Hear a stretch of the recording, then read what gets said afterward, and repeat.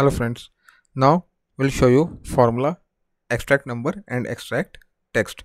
So you can see i mean there are some text written in these cells and i want to extract the text out of these strings right? To do that i will select this cell go my for go to formula and click on extract text. So it is asking me select cell. So i will select my cell like this and I click on ok. So you can see it has extracted the text out of this particular cell. Now if i drag it down right you can see i mean it has also extracted text from these particular cells. Similarly if i want to extract numbers what i need to do i will go to formula click on extract numbers and i have to select the cell like this and click on ok right?